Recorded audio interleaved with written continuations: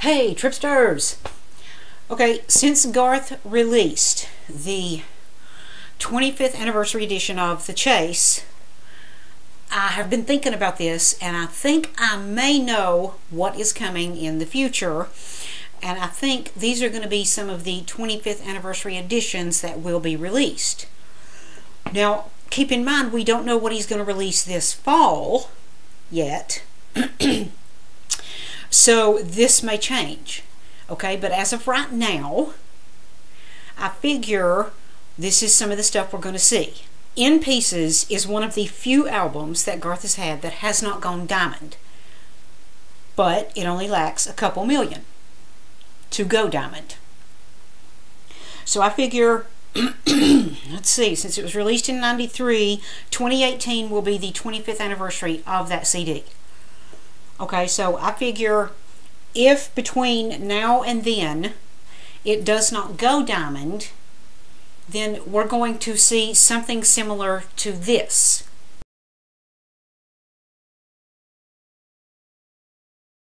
A special 25th anniversary edition, which will help him sell enough to actually go diamond on this album. Okay, now uh, the same thing for the rest of these. Uh, Fresh Horses has not gone diamond.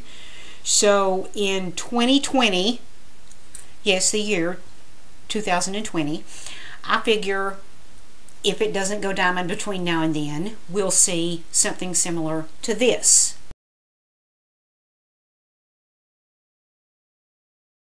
Another special anniversary, 25th anniversary edition of Fresh Horses.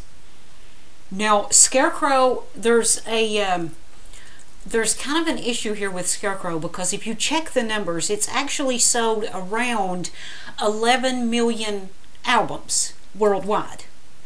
But it's not certified by RIAA as diamond. okay, I don't know what the deal is there. I don't know if they're not counting worldwide, if they only count the United States sales.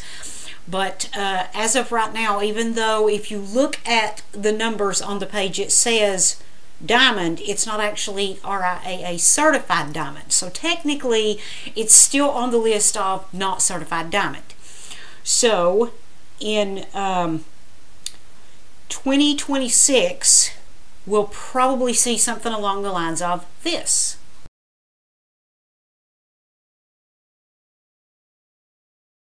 These are going to be the special 25th anniversary editions and the years they will come out. If these albums have not gone diamond by the time their 25th anniversary year gets here.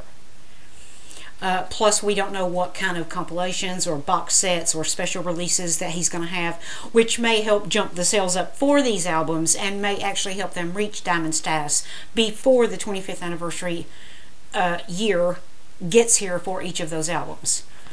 Now, uh, Man Against Machine and Gunslinger are nowhere near diamond status. I'm not sure these have even gone platinum. okay, they may have, but um, I haven't actually been able to find official numbers for these two albums.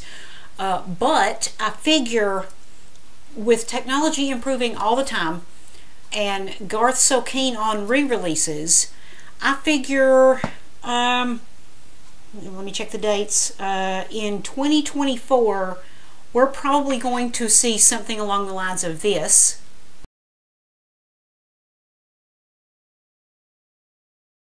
A special re-release for the 10 year anniversary and um, the reason I was talking about technology is because I figure they're going to say technology's better, the sound is better, so we've remastered the CD to make it sound better. Okay, so the 10 year anniversary of Man Against Machine will probably come with its own special remastered release. And again, the same thing, excuse me, the same thing for the uh, Gunslinger album. Now, I think the Gunslinger album has the most potential for a special release because he has songs on the limited edition version of it, which is only in the box set. If he chooses in 10 years to re release this as a remastered, better sounding CD or a 10th anniversary edition CD, there's a possibility that he could add the songs that's on the special edition or he could just uh, release the special edition as a 10 year anniversary, and of course, it would have to be remastered. Uh, either way, uh, I figure in 2026, maybe, we're probably going to get a 10 year anniversary edition of Gunslinger.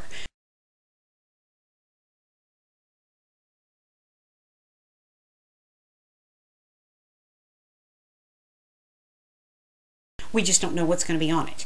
Uh, but I think since Garth is all about the numbers, whether he ever admits that or not, we as fans we know he is all about the numbers.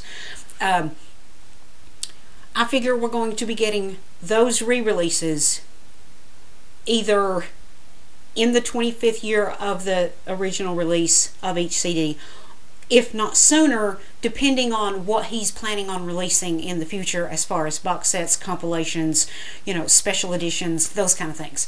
But I figure he's going to re release each of the CDs that he's got, well, that he's put out, that have not gone diamond, and I figure he's going to do it in order to help them reach diamond status.